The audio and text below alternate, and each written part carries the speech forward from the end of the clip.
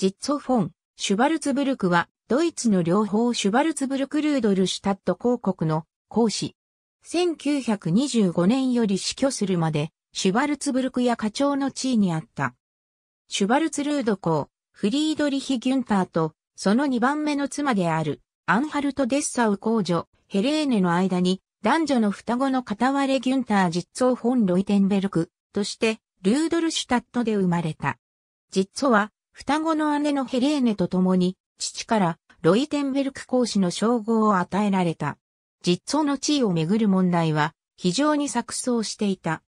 母ヘレーネは、アンハルト公、レオポルト4世の弟ゲオルクが、寄戦結婚で設けた娘で、ライナ伯爵夫人の称号で呼ばれていたが、1855年にフリードリヒ・ギュンターとの結婚に際し、叔父のビルヘルムの養女となって、アンハルト・デッサウ公女の称号を許された。しかしこの二人の結婚も、また寄戦結婚とみなされたため、実装はシュバルツブルク公家の正式な一員と認められず、公家の正当な男子相続者が絶えた場合のみ、彼とその子孫に皇位継承権が生じるものとされた。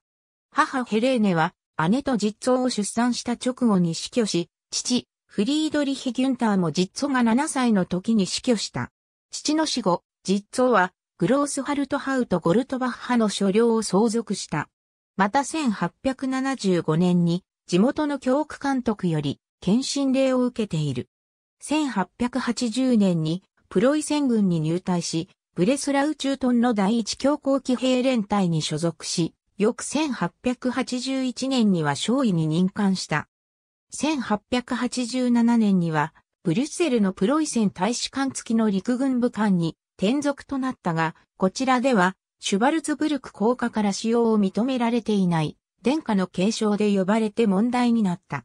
父、フリードリヒ・ギュンターは、対等結婚である前妻、アウグステフォン・アンハルト・デッサウとの間に3人の男子を設けていたが、いずれも実装の誕生前に死去しており、子孫もいなかった。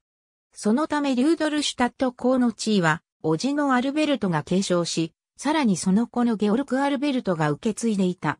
ゲオルク・アルベルトの死後の1890年、実装の最重刑にあたる分イエス時のギュンター・ビクトルが即位した。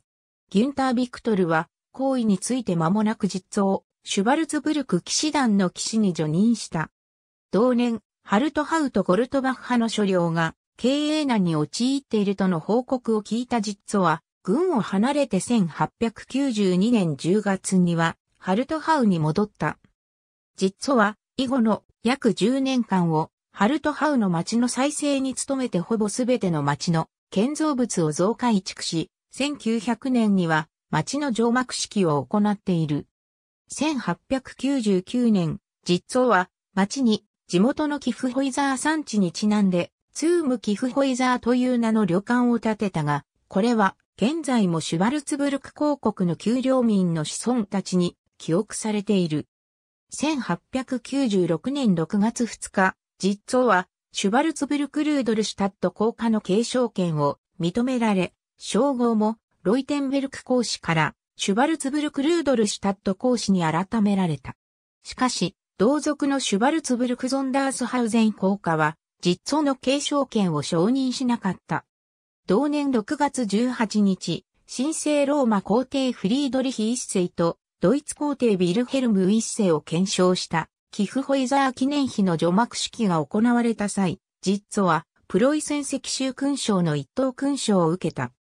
1897年1月25日、デッサウにおいて最重枚にあたるアンハルト公女アレクサンドラと結婚した。夫妻は新婚旅行の後、3月22日にハルトハウの領地に戻った。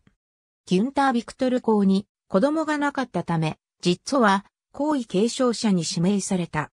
1918年11月23日、ドイツ革命の煽りを受けて、ギュンター・ビクトルが退位すると、実王が君主となる望みは絶たれた。シュバルツ・ゾンダースハウゼン公家は1909年に断絶しており、実は1925年にギュンター・ビクトルの後を継いで、シュバルツブルク家の課長となったものの、翌1926年にグロースハルトハウで死去した。課長位は、一人息子のフリードリヒ・ギュンターが継承した。アレクサンドラとの間に一男二女を設けた。ありがとうございます。